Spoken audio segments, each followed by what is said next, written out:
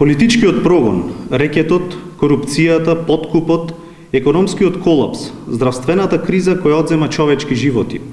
Тоа, почитувани граѓани, едноставно е нашето реално секојдневие благодарение на СДСМ и Зоран Заев.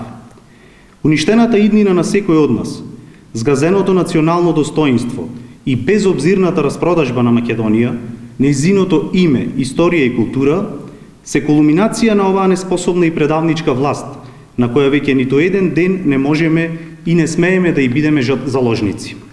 Единствениот можен одговор и за раскопаните улици во градот, за вработувањата на нивните најблиски и партиски послушници, за уништувањето на надежта и сонот на младите.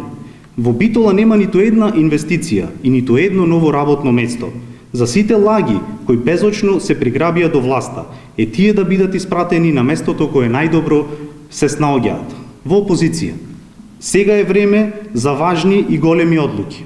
Ова е последната шанса за вас, за вашите деца, за вашата битола, за вашата и наша Македонија. Само заедно со вас, ВМРО ДПМН е подготвена да ја врати надешта и да започнеме сериозно со обновата на Македонија.